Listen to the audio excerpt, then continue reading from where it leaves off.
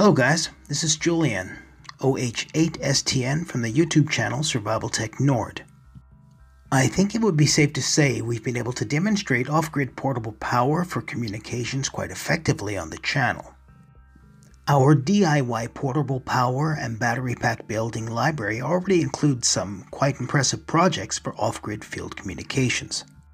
On the first pack, we used lithium ion 18650 cells. The second pack, we switched over to Headway uh, to build a 12 amp 128 watt hour pack. The third pack, we went to 26650s using A123 lithium iron phosphate cells. And finally, the Headway 50 amp pack 128 watt hours. All of these packs are still going strong and still in use today. Hey guys, Micah here from ebikeschool.com. Now, my buddy Micah from the YouTube channel ebikeschool.com also happens to be a product manager for Vruzend.com. That's the maker of these 18650 battery pack building kits. I would say a few of the main features are not needing to spot weld the 18650 batteries, being able to assemble or disassemble our battery packs and reuse them or reconfigure them into smaller or larger packs. The Vruzend kit also helps us avoid the cost of a battery spot welder and allows us to service those packs if necessary. So stick with me a while, and I'll show you how to build one. You are listening to the Emergency Broadcast Systems. This station broadcasts emergency news and official information on the air for a sign narrative. So today we're going to use the Vruzend kit to build a 4S4P 18650 battery pack. So the Vruzend kit allows us to use lithium ion or lithium iron phosphate 18650s to build a battery pack in the configuration of our choice. The Vruzend kit is also an excellent way to build the internal battery pack for your solar generator or battery box project. Today's build is going to be a 4.4 amp hour pack using lithium iron phosphate cells.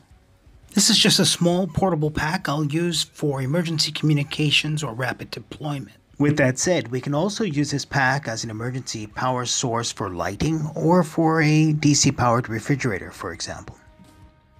Like all of the portable power projects on this channel, this one is also designed to be topped up using any solar power source. Despite its small size, this is the core component to a solar generator, and it definitely has a place in our emergency communications go kit. We'll be using version 2 of Vruzend's battery building kit. Vruzend's version 2 kit includes 60 terminal caps, 60 nickel plated copper alloy nuts, 70 nickel plated pure copper bus bars, 4 wire clamps, and 4 cable ties. Let's look at the rest of the gear we'll need to make this battery kit complete. Since our build is lithium iron phosphate, we'll need to acquire our own lithium iron phosphate uh, 18650 cells. We'll also need to acquire a BMS. Since we want to charge this off of solar power, we'll also need to come up with a solar charge controller, and I haven't decided on which one to use yet. Perhaps we'll leave it up to the builder to decide which solar charge controller is the right one for their build. I'll also be using a board from k9jeb.com for DC distribution. You may have already seen the blog post on this. It's called Better DC Distribution for Portable Ops. I'll leave a link in the description if you haven't. And of course, we'll need a few other things like wire and connectors and things like that. Make sure the wire you use is the proper gauge for the amount of amps you're going to pull out of the pack. Finally, make sure you have the right crimping tools for the wire and the connectors that you're using in your build. Naturally, an accurate multimeter is a good tool to have for this build as well. Before we get started, we want to go through and charge up all of the cells. Then check the voltage of those cells to make sure you don't have any stragglers or low voltage cells in the group. With these cells charged and inspected, we can go ahead and put them into groups. This is what our 4.4 amp hour pack is going to look like before the bus bars are on, but with the end caps put together. The end caps have four sides, and each side has either a slot or a channel. So during the installation, we need to maintain some continuity, ensuring the slot on one side and the opposite channel on the other. In this video perspective, you can see that one end of the end cap is always an exact opposite of the other. Despite the color of the end cap, you may notice that the slots and channels maintain their continuity throughout each layer. The only time we reverse the end caps is after we complete a layer and go on to the next one.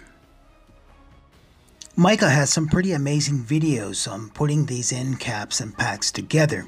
I'll put links in the description for some of those videos. The technique I'm using to put my pack together is one by one, side to side. As I'm doing a two layer pack, one layer is always exactly reverse of the other one in terms of the end caps. Now the only way these layers are going to go together is if each end cap has been installed correctly. If they have, the layers will slot together extremely easily. This is what our pack will look like with the end caps on and the layers combined. Of course the bus bars are not installed yet.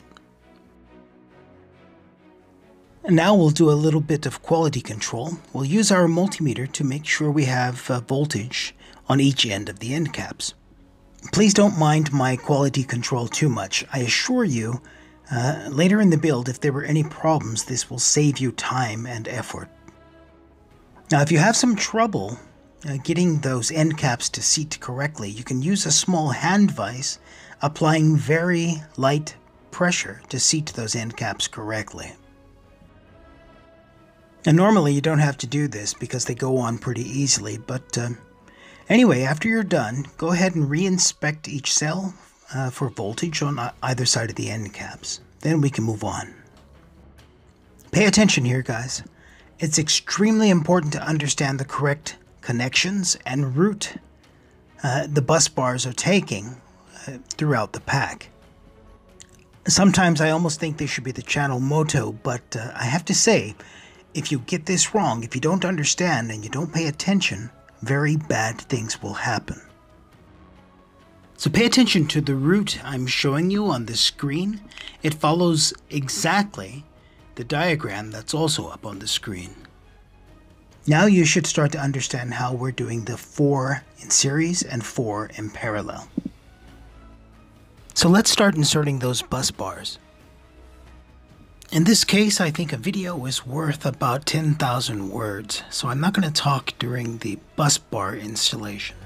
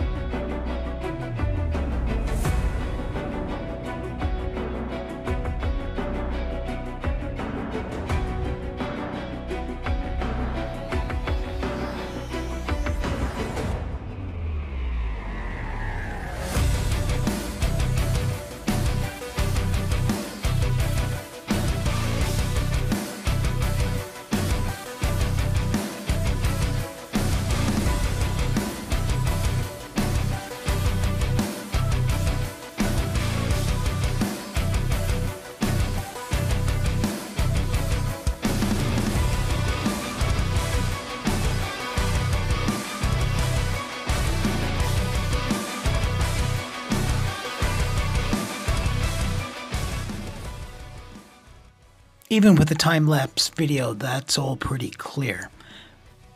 Now we can do one more quality inspection with our multimeter to check the overall voltage of the pack. So I don't just inspect the voltage of the entire pack, I also inspect the voltage of the parallel sets.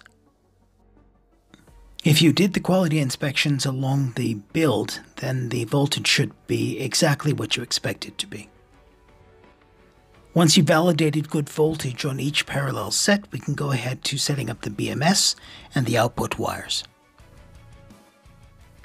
There are so many different combinations or potential BMS boards and charge controllers that I have no way to know which one you're using. I decided on using one from eBay on this build. It's easy to obtain and it's easy to set up. So the specs of the board say it's rated for 20 amps. I wouldn't run this at 20 amps for long periods of time. But it does balance the cells and it's been solid so far. I wouldn't trust this budget option to protect my headway cells, but uh, for these cheap 18650s, why not? So if you want to try it out, you'll find a link for this board in the description. Whichever BMS board you're going to use, make sure it has documentation about its wiring and specs. So when you're done soldering the BMS, this is what it should look like. On the outside uh, connections, we have the battery terminals. On the inside, we have charge and discharge terminals. So thankfully, the Vruzend kit eliminates the need to solder the 18650 cells, but we still need to solder the battery tabs uh, between the BMS and the battery pack itself. Now, even though we've reached this point in the build, I don't want you to skip ahead.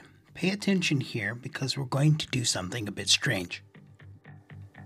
So, when we're wiring up the BMS, we're going to use both the battery plus and battery minus uh, ports on the BMS, in addition to the balance ports, which also have battery plus and battery minus. So the point is, you may be tempted to simply connect your battery pack using the balance lead on the BMS. Now, surprisingly, the BMS will work that way, but you won't be able to get as much amperage out of the battery pack even though your cells are rated for it. The reason for that failure is the gauge of the BMS balance wires. To remedy this problem, we're going to use all five of the BMS leads on the balance port, but we're also going to use the battery plus and battery minus leads directly to the battery plus and battery minus of the pack. This will ensure an adequate gauge cable for the amount of amps we're trying to pull out of the pack. Now because this is a Vruzend build, I decided to go ahead and crimp on the balance connector leads so that we can uh, screw them onto the pack. Set that balance lead off to the side for a moment, we'll come back to that shortly. So let's start by attaching our battery plus and battery minus leads to the BMS.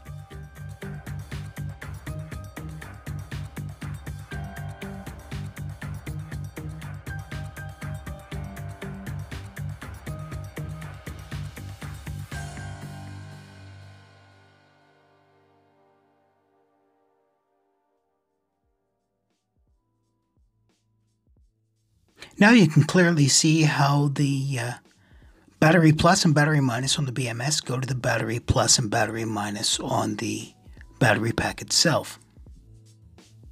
Just a side note here, guys. It would be an extremely good idea to add fuses on both the uh, plus and minus leads between the BMS and the battery pack. So now we're going to go ahead and install those balance leads. As an added measure of safety, don't connect the balance lead to the BMS board yet.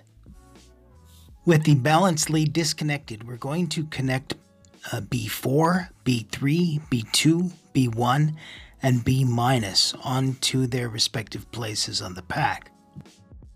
The diagram up on the screen is only good for the BMS that I've used in the video. You can find a link to that in the description.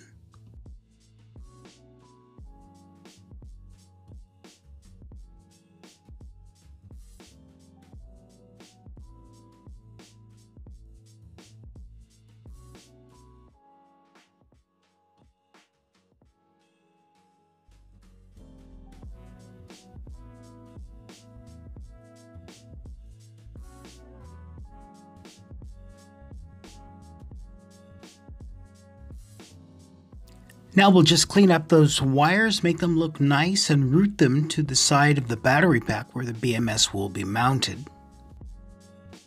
Now we can go ahead and connect that balance lead to the BMS. Normally I would use some Kapton tape to cover and protect the BMS, but I ran out, so I couldn't do it for this video. So we're just going to go ahead and shrink wrap everything for now, and uh, when I get that Kapton tape, I'll update it when I take this pack out into the field.